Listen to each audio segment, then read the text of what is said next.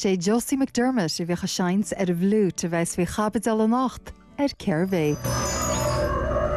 Tá mé heb bhfuil se d rééis sé ríist. Is martá se de feide ormsa. Tá sé de feide ortsa. Chhuiiltíar. Tás an arpád na prosína seaan seo a fanach tart go dú cochtainna cinnta bailach go bhhain nach chu chuigantí. Ialta do origam! Go chuí dearachchas mácht! Agus é híine ar fáta!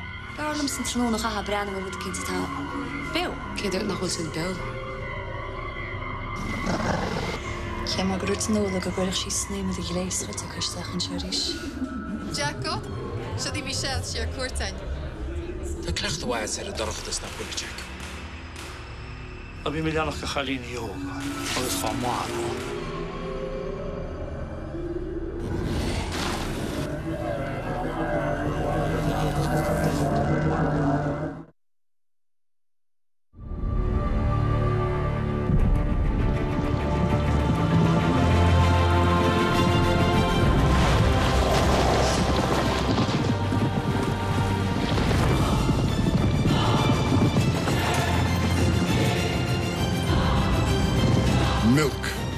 Force of nature.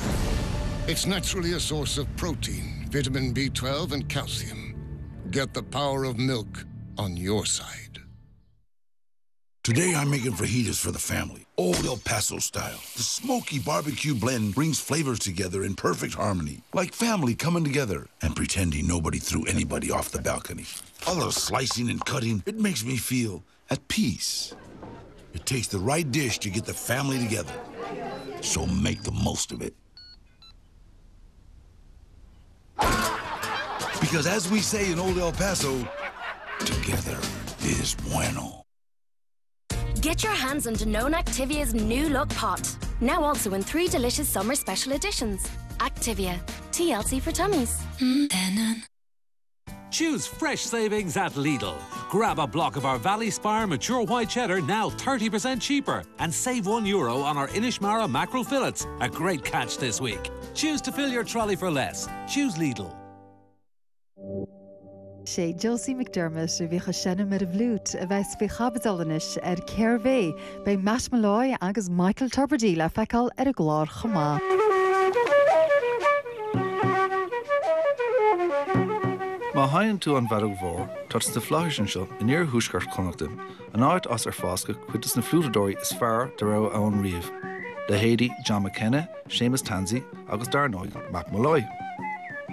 Bhúil miise an bóthir siar ó chuig le iirt i dhéanamh etna níos fearr a chur ar gine a bhfuil a chuid ceol cluiste gomón minicigum. Duine dem mhór ceoltóirí na háte se é agus tá méid tagad chuig a ód dúchas le áileach go dúrach Ceirbe é Josie McDermott.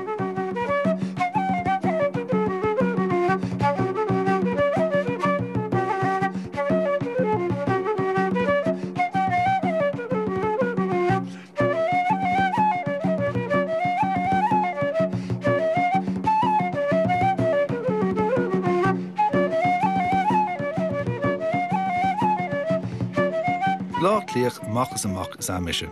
Ach in nóin sin bhí ansim gom a gróí i cheol an counter seo. Tuis go bhór mé a lá am chuig ceol féin ó ó chósan an sáflústar sligach John Egan. Is dóid go mraham sa bhailonn seo mar cheoltar i gceantar ligiigh líirtme agus Roscomáin. Tuis gur í seo chrí láir an cheol ar an bhadal bhór agus tá Josie McDermott lánach dó sin.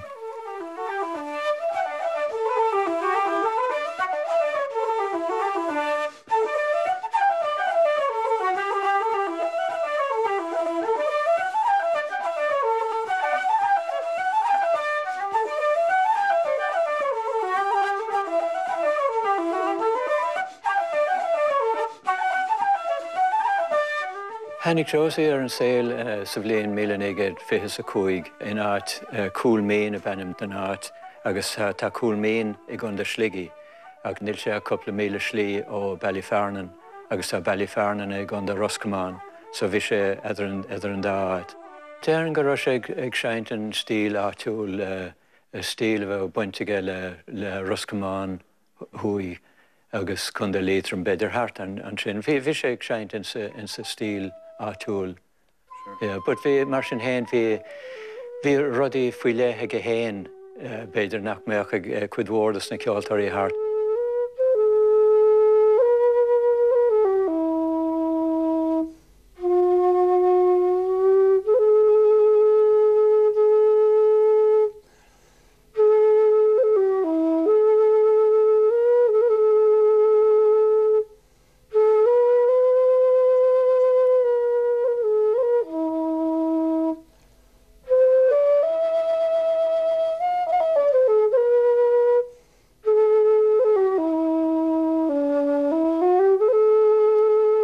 Go bhfuil atna am ggéir ar is a chósan Martin Sweeney, chur atna air agus é ina ledóg.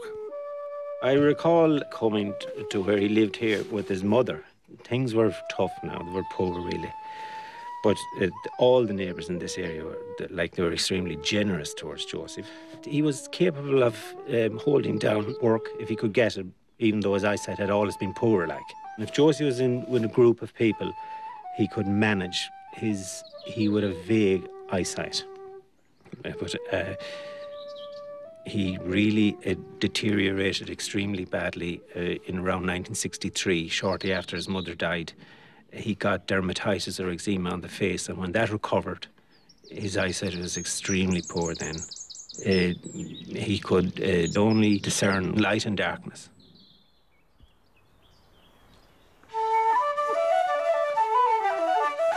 Sá cheoltóirí ar an bhedh mhór se Tommy Guihin agus Patsy Hanley. Agus is omípát tá seininte chu i gcuidirta Josie McDermott i gahabh nimlíonnta. Bhí ar beirt an bhór lena chuid ceol agus leis héin mórgrinne. He was always anxious to help everybody, and he spent all his time helping people. He, was so helpful to other people that you'd nearly forget that he was blind and that you should be helping him.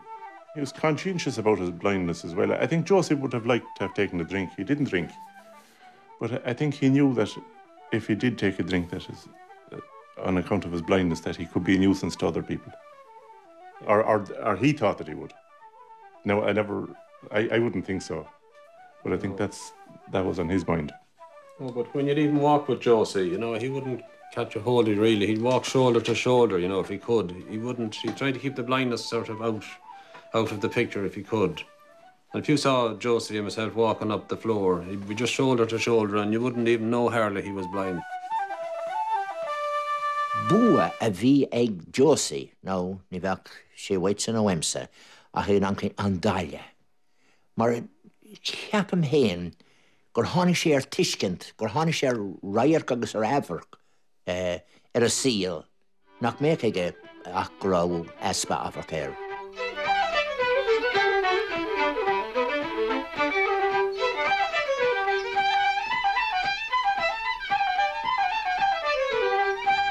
Áítar map meáid ar ghuiine dus na ceoltóirí is fear de ra an riomh ar an bhedh bhór.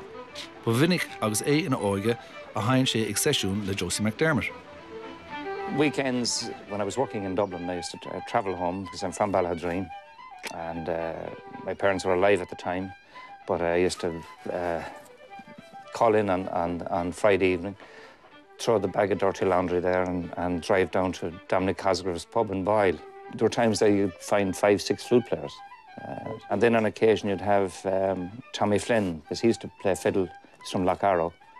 And he used to play quite a bit with Josie as a fiddle and flute duet.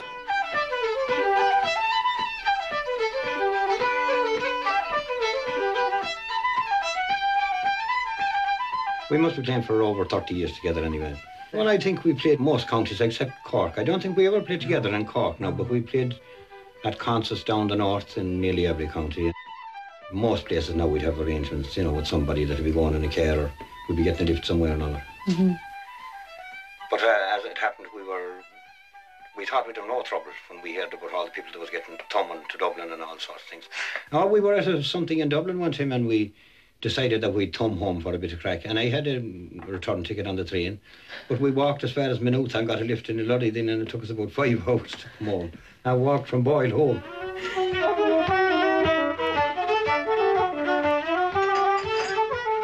Bé a chud ceol agus chuid sémant a haing mo chud áid dro Josie McDermott dosach. Ach tá is a lenam le mo chud fisrathe agus tá a lerem lena chud cóide is cósan, is álaigh is mó a hiigem gro i bhád níos mó a gceist leis an bhar seo ná mar a hiigmé. Ba in Mermingham hasanna a chula Catherine McAvoy, Joyce McDermott agus í na cholín óg. Josie was such a unique person, a unique musician. I would have classed him as a bard. Obviously, when I was younger, I didn't really understand the whole the whole concept. But looking back now, I can see that I mean he was a composer.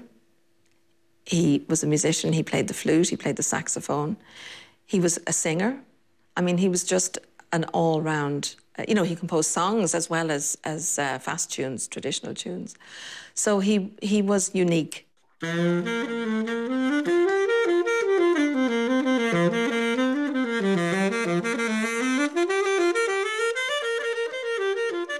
The first instrument I got was a trumpet. And I put all the cattle and dogs and everything made about the place when I brought back and my mother chased me out of the house altogether. So James Flynn then, uh, he used to play a bit on the saxophone. Um, I taught myself how to play the sax, but he taught me how to read music. And after that, I had to learn, when I went playing the saxophone, I had to learn something about music.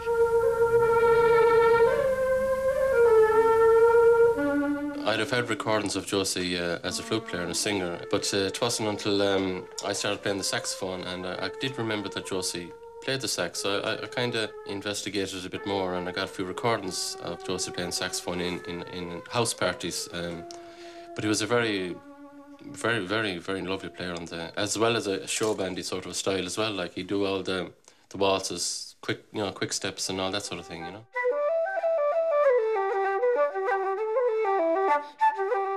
Mar se is fear ar McDermott. Ach rud nach is ag golódaine ná go bhfuil PC ceol úntacha comá. Go a bhí a le fada ach nach gur is gur a scríomhíd go dtí gur mé ar an dóíocht seo. One of the tunes that he composed, uh, I have it on my first solo album. I just called it Josie McDermott's. I took these away out. I think it, I think he called. I think I heard afterwards he called it the trip to Birmingham. I remember on one of Josie's trips to Birmingham, actually, he, he was invited over for a Comhaltas dinner. I think that, that Birmingham airport was fog bound, so that the plane had to be diverted to, uh, to London. And they ended up having to get a, a, a taxi from London. And on the way, Josie composed the tune Trip to Birmingham.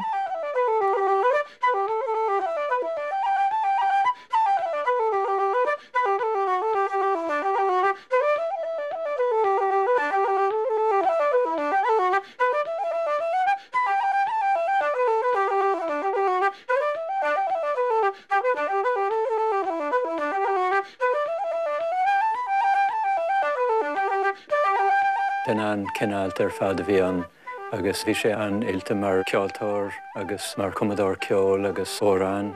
Bhí se anhaigh i ggin sin scéalte agus bhí ólas anhaigh ar stair na háte hartar chun de sligi Roscamáin agus chun de lítrame cé gorág sé an scoil nar bhí sé cehardé agus socha. The learned men who've used the pen and wrote the praises high must have forgot the beauty spot that in North Roscommon lay. They overlooked Lough Meelagh's wooded banks and Kilronan's lovely dell, and the Cadia Mountains looking down on Lasser's holy well. Josie was possibly the first and biggest influence on my singing. That's the first time I had heard ornamentation being used in traditional singing. It was the richness in his tone, the tone that he had in his voice, uh, and that was quite clear in his recordings. Oh, it comes across very much in Der Derby's farewell. Um, Yes. Mor Morlock Mary, his version of Morlock Mary, yeah. is absolutely beautiful. Well, I wouldn't be fit for a Morlock Mary. I'd have to leave that to the master himself, I'm afraid now. Would you would you sing us the song? Would you reverse to? Well, I could give you a couple of verses. Um, uh, I heard uh, Josie singing this song in Ballyfarnon. Um, O'Reilly from the County Leitrim. Now, it's a bit long. It's a short in the winter, but I'll sing a bit of it for you.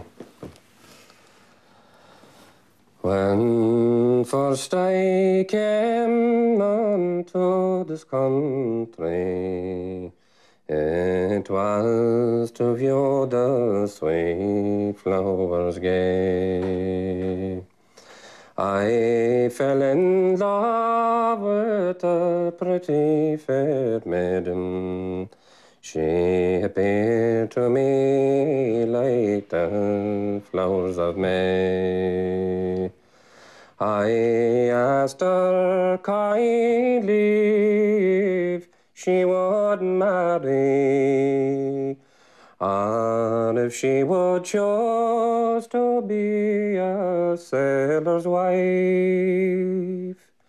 Oh no, kind sir, I would rather tarry and choose to live the sweet single life. Um, Want broadband speed that's second to, well, none? Now UPC gives you 50 meg fibre power broadband as standard. It's totally unlimited, so you can all do more online, all at the same time. The best of everything comes in a UPC bundle 50 meg fibre power broadband, TV with on demand, and home phone for an amazing 50 euro a month. That's faster and better value than everyone else, including Sky. Switch and save today at upc.ie. You give your kids milk for healthy growth with calcium for strong bones and teeth. But they also need vitamin D to absorb calcium. Just one glass of Avonmore Super Milk a day gives them all the vitamin D they need. Avonmore Super Milk. Let your little heroes shine. Get your hands on Danone Activia's new look pot. Now also in three delicious summer special editions. Activia, TLC for tummies. Hmm? This changes everything. eFibre, unlimited super-fast fibre broadband from Eircom, is here. With speeds of up to 70 meg, your family can connect effortlessly, all at the same time and faster than ever before. Better still, all Eircom customers can upgrade to eFibre for free. It's time to bring your home together. Call 1 800 503 303. E-fibre from Eircom. Life changing. What I would do as a Tesco cheese buyer, I would sit down with a cheesemaker and we talk about the ripening of the cheese. So Tesco customers get to taste the cheese at its very, very best. To get them to grow bigger and better and tasting better, you have to have the right soil texture. That's how we make sure our potatoes are of exceptional quality. We age all of our steaks for a minimum 21 days to give it its maximum flavour and tenderness. It's all Irish. This is something we stand over, we're very proud of. Taste our commitment to the best of fresh and Irish. Tesco, homegrown in Ireland, it's a natural obsession. All the goodness of Avonmore Super Milk. Now with the full taste of whole milk. Introducing Avonmore Whole Super Milk.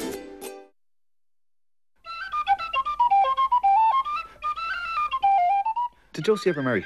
No, no, Josie never married. I mean, Josie would have had all the emotions of any uh, human being, and he would have been a, a lonely man in his lonely time. But the way he handled or dealt with that then in later lives, he would either he'd take out the tin whistle and try and compose some, something. He made himself very busy.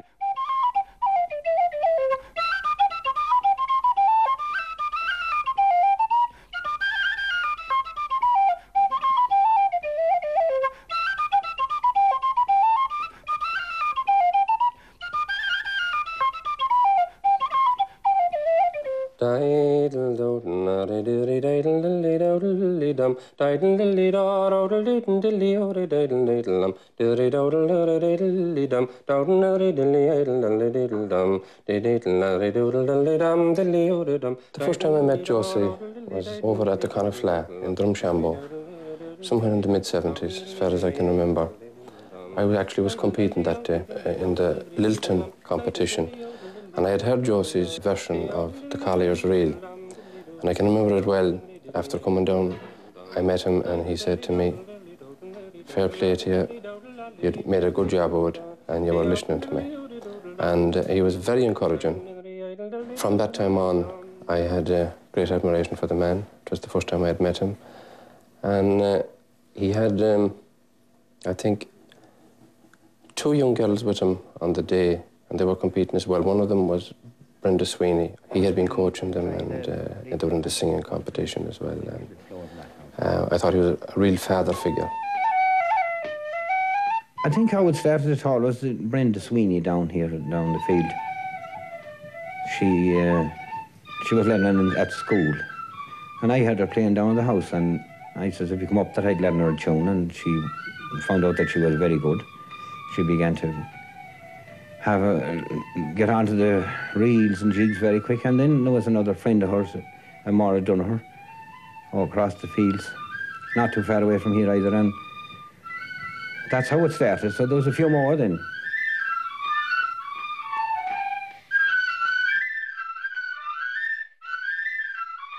So I could have an awful big class, and I was asked to do classes several places, but I wouldn't take it on. Like so, anybody that if they knew how to play and had a little knowledge, I'd learn them then after that. But I just couldn't have the patience to start them off from the beginning. Yeah, that wasn't too bad now, but I thought I heard a little squeak there now. So you want to watch that you don't overblow the top notes.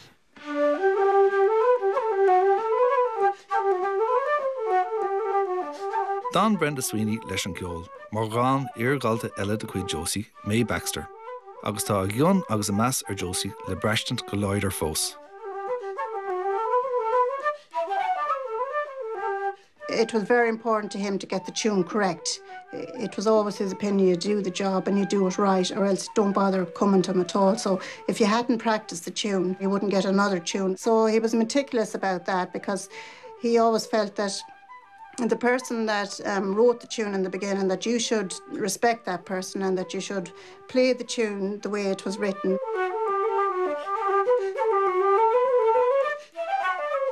There's an awful lot of good play, very good players now, young players, an awful lot. But but I don't like the way that they're inclined to change the tunes. You know, I'd prefer if they compose a tune. If they want to do some, get a tune or do their own thing with a tune, let them compose a tune. But I, I I'm afraid that they'll spoil a lot of good old tunes.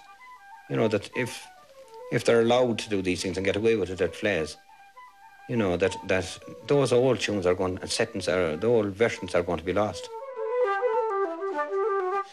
In 1984, Josie was invited out to Philadelphia to a music festival. And he asked me to accompany him with him. Robin Height was the name of the man that invited us out there. I was only 17 at the time and had never been out of the country. So obviously when I arrived in the airport, it was very intimidating. So I said to Josie, you know, sure, we don't know what this man looks like and we're, how are we going to ever find him and how is he going to find us? So Josie says, well, I know a way. So put down the, the cases and the luggage and took out the to whistle and started playing this tune. And of course I was mortified.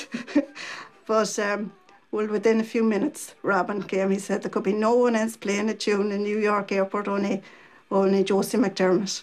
And a wrong good time.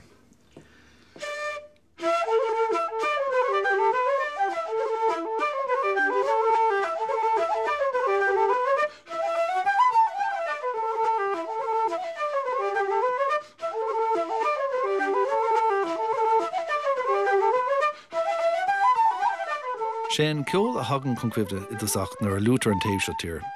ach tá tradiisiún eile tábhaach san áisio chumá. Tradiisiún is dóidlumm sa chuig a bhaim go mór a Josie McDermott. sé sin tradiisiún na mard agus tuirlach ó Carlan.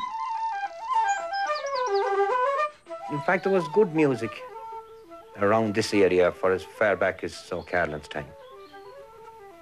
There were there were good musicians, or will will to go back to McDermott Roe that taught O'Carolan, and then there was a family O'Malias and some of them were supposed to be at O'Carolan's funeral. Then there was a descendant of the O'Malias, he was called Moogeen Chalk, and his music passed down to a piper, McDermott Rowe, that got an awful lot of tunes from him.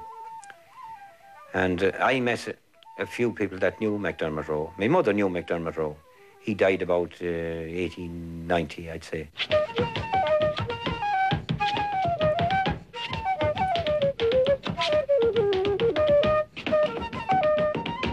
Dúil bhilteach i Josie sa ceol, agus bhí fáin ar a bheith sémant i gcónaí. Céró sé dul níos dare agus níos dare air, go háirithe na blintí deireg. after a few times after he met me, he, he sat down at home and he made a tape on his own time and explained about the tunes and what you should do and what you shouldn't do. And if he wasn't happy the first time he played on the tape, he'd say, no, that's not good enough, Tommy. I'll do that again. He was always complaining that he smoked too much. He said, happened, my wind isn't that good, he says. I I was good before wind there. Now I'll try it again and I'll take more care the next time. His chest and his breathing was his problem. And he found that it was weakening him because the damage that was done, obviously, with the years of smoking.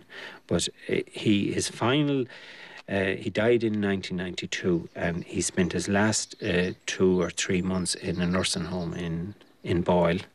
Am an uair dearnach a casmé ar Joseph McDermott. Bhí sé san áras plunked agus bhí si fi sé go dairí lag bhí 5 mé lena crí agus rudí mar sin. Is cuiban an dúis méle Josaí. Ar Josaí nuair a tucaí an tara agus sé an túháile a baid tú ceart.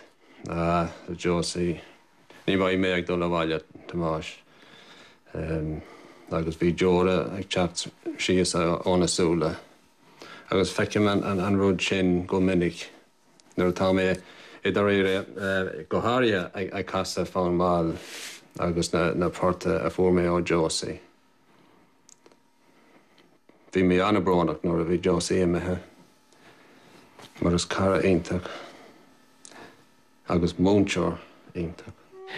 his funeral was testament to the esteem in which he was held. I mean, he, we couldn't get over it ourselves, like, and the amount of people that would have come to uh, to us afterwards, like talking about Josie, astounded me. Like, he, he was one of those special persons that come along in only once every generation or every couple of generations. I mean, he was he was just that special man.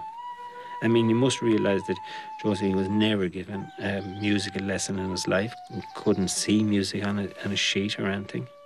And he could play absolutely brilliantly. And his technique was unreal, like. I mean, how many flute players, and you're flute player yourself, will uh, have little nicks or of Josie's little tonguing or style, and of course the South Sligo style is and North Roscommon style is very well respected in the musical tradition.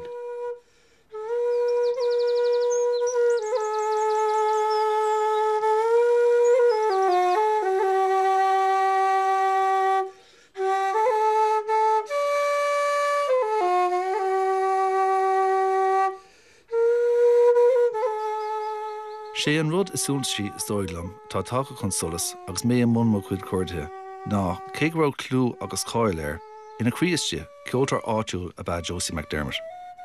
Bhí sé fréimthe go docht sa fphobal ónar ascar sé, agus bhí meas agus ómós ag an bobbal sin ar mar cheoltar agus mar gine. agus marann sé fós ina measc tríd an sebras mór cheol a dag sé mar airecht a chu. Thnig sér daine á tá an go gur tháinig daine hiige agus gur uh, álim siad wai. Ach bhí léon bhí ládíine Beiidir uh, fu si amach gur ó buna a capéan, búna an cheol agus an cas agus eile mar sin you know. You know, sin mar ná you know, atá agin na dtíine casahhar ibse agus agus an chlár fio seo fiúhána dhéanú agé. Dín golóra a siúd Beiidir ní gur tháinig siad san go Josaí ach gur tháinig Josaí orb. I would see Josie as one of the last of that generation that you could call a bard, an all-round musician. As a flute player, I think his, his influence was huge. I don't think he ever realised what an important influence he had had on people.